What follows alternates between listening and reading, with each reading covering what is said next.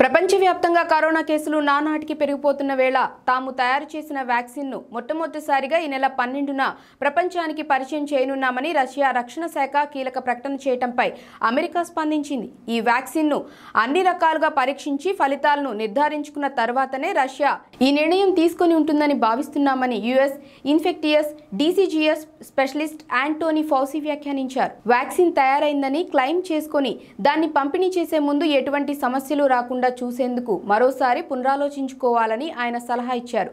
కాగా ఈ వ్యాక్సిన్కు Gamaleya research institute of Russia రక్షణ మంత్రిత్వ శాఖ సంయుక్తంగా అభివృద్ధి చేశాయి. గత వారం రక్షణ శాఖ ప్రతినిధి గ్రిగ్నేవ్ మీడియాతో మాట్లాడుతూ మెడికల్ సిబ్బందికి వయోవృద్ధులకు తొలిసారి వ్యాక్సిన్ ఇస్తామని అన్నారు.